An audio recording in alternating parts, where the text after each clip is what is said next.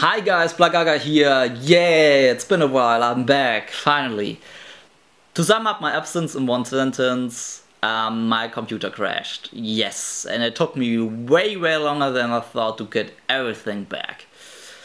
Really, really annoying. I really hope it doesn't happen to you. If you have really important stuff on your computer, just put everything on an external hard drive like I did now. I was not wise.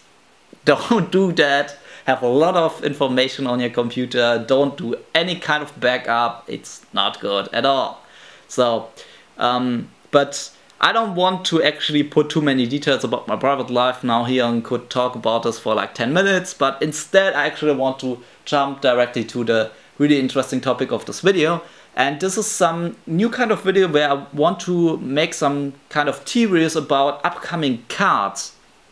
But I don't want to theorize or fanboy about upcoming cards what I want, but instead what seems logic when you look at the story of certain archetypes. For example, the TCG exclusive archetypes um, like Subterrors or Spyrals. And today we're gonna look at the four new cards that await us in Maximum Crisis. So of course I've seen the Raging Tempest support and I agree it was sadly completely awful. Um, I've seen a lot of people who gave up on the archetype already and who think that only 4 cards cannot push the archetype far enough to be relevant in the metagame.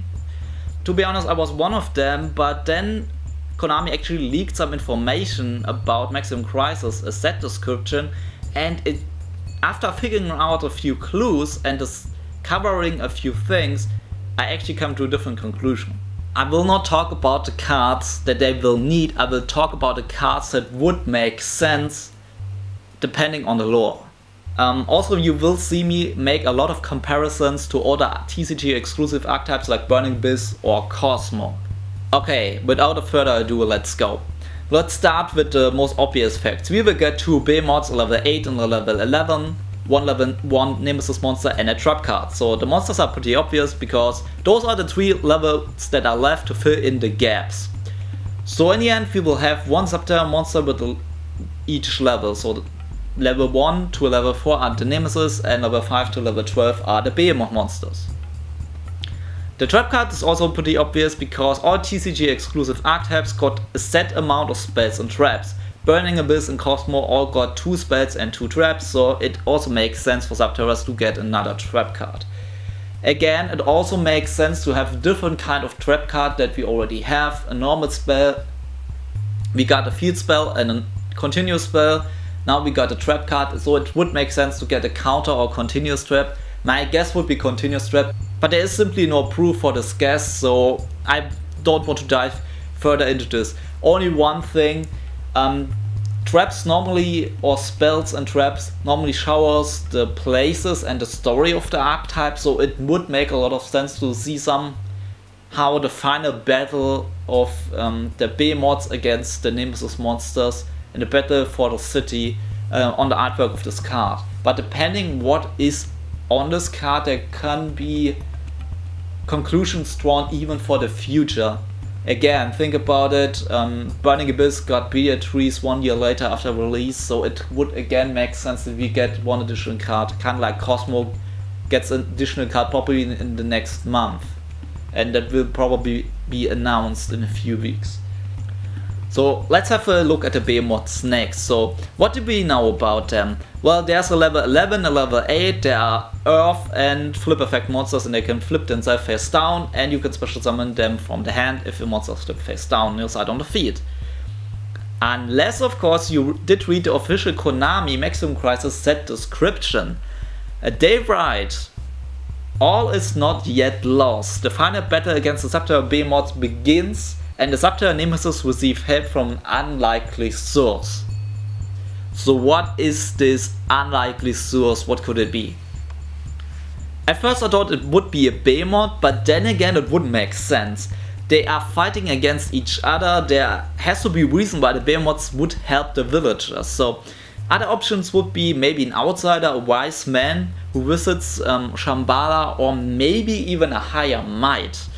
Unfortunately there isn't any evidence about any card, effect text wise, or when you look at the artwork, um, that gives some clue or some evidence that this could be true. Um, at least that's what I thought. So last weekend was the sneak peek, so I took a really close look at the new support cards and I couldn't find anything. So I looked again at the older support cards because I remember that, for example, when I looked at the volcano in the back of the Hidden City artwork, I thought, okay, this is pretty obvious that we get a Subterror mod which is a pyro type because it lives close to that volcano. So maybe we could draw additional conclusions from some of the artworks.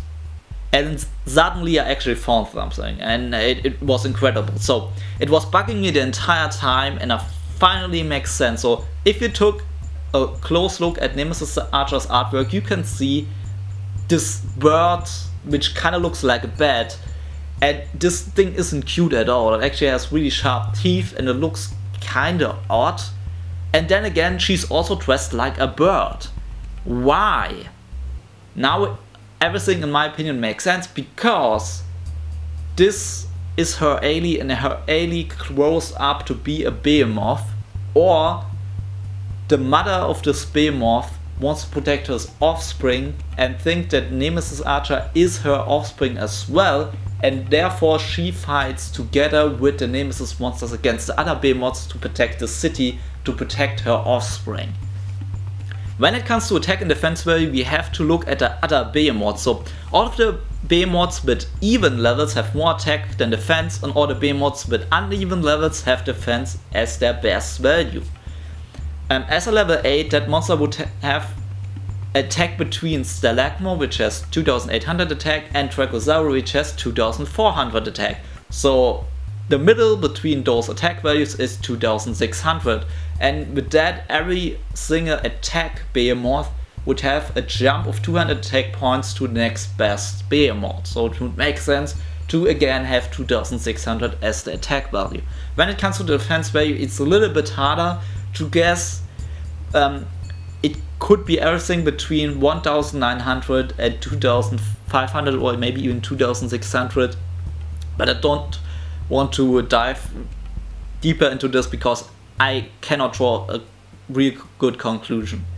The only thing that we know is that the, the defense value will be decent to good. Now the really interesting thing about this winged beast type Behemoth monster is that there is a really high chance that this Behemoth has a completely different effect than other ones because it's not one of these Behemoths that lives in the cave but instead in the city so it could completely have a different summoning mechanic. So you cannot special summon it from the hand, from maybe even from the graveyard or things like that. And maybe it also has a completely different effect on the field. But again, to predict this effect would probably be wrong because there are way too many different options that we could have. Also, I don't want to hype up this card, even though I think that I'm around 90% sure that we actually get a Winged Beast type Behemoth. When it comes to the level, I think actually it will be the level 8 because I have a different opinion about level 11 Behemoth, but more onto that later. Let's talk about the level 1 Nemesis monster. Um, and when it comes to level 1 Nemesis monster, it's actually pretty obvious because if you look at the other Nemesis monsters, it's really obvious that they are built after some RPG classes like a warrior, a tank, an archer, and of course what is missing, and a mage of course. So it would make some sense if there was a mage. But here comes materia into play where I think that actually the level 1 Nemesis monster is a little bit different than we again think it is. Because if you look at the other TCG exclusive archetypes, you always see one evil guy controlling the others. What I'm trying to say is there's always one person or one thing which stands above the others when it comes to evilness. Malacoda in the Burning Abyss controlling the Mad Branches. Then again, um, Cosmo Dark Lady in her Cosmo Death Star is kind of responsible for the other ships and the Wicked Witch. So again, there has to be some evil guy who is controlling the behemoths. And there are several options that I have. To be fair, all of this right now is gonna be a lot of speculation, so it definitely could be wrong. I, I want to point these things out because of interesting discussions in the comments below Um, maybe some of you have really cool ideas as well. Um, I think the level 1 Nemesis monster could be evil. It could be a Nemesis caller summoner and it could itself flip face down because it's evil. It's kind of like the Behemoth, the evil Behemoth and it could have some special summoning um, effect when it's flipped face up um, to special summoning the Behemoths from the graveyard or from the hand. If the level 1 Nemesis monster is good and it's not evil, then there's only one final conclusion that is that the level 11 Behemoth has to be the evil person or the evil being in the Subterror universe. And you probably think, okay, Ultramafus should be the most evil because he's level 12. He has the highest stat, he has 3000 attack, but that's completely wrong because it's an uneven level and the uneven even leveled monsters have a lot of defense. And the level 9 Behemoth, Voltelluric already has 3000 defense. That means that the level 11 Behemoth needs to have more or at least 3000 defense as well. And there's a possibility that it actually has a ridiculous amount of defense. And you has, have to ask yourself what kind of animal or being could have such an insane amount of defense. If it's the level 11, we have to ourselves why in the world would an animal actually, actually attack such a city? Maybe because it's in his territory, but then again also the others would also be in the entire territory but why would they all attack at the same time, kinda? Again, I already showed you how high the defense of the level 11 Behemoth should could be. It could actually have up to like 4000 defense and could be the most powerful of all the Behemoths when it comes to stats. When it comes to the typing of this Behemoth, I would guess Dragon or Dinosaur because we still don't have one. To fit the artwork and the style of the same, I would actually tend for a dinosaur, especially with the dinosaur structure deck being around. Uh, but I have one final ridiculous theory. And it's a plant. Because plants cannot move and they are bound to one location. So if there's a threat nearby, like humans, they kind of have to defend themselves. Um, and maybe this plant can control the behemoths. But again, this could definitely be wrong. Uh, this is just a guess of mine. And maybe you have some really interesting topics in the comments below. Maybe some cool theories that I want to actually hear. So please write them down. I'm really excited to see them.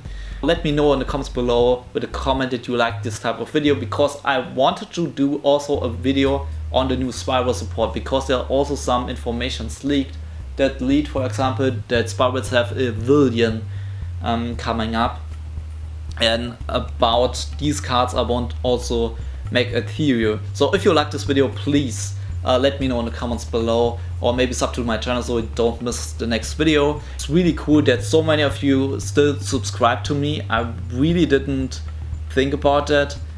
Again, a lot of thanks to you guys for still being subscribed to me even after nearly three months not uploading anything. Uh, that's impressive and um, thank you for this. Um, so again, please let me know if you want to see those type of videos. Um, and uh, yeah, thanks for watching and I see you next time. Bye.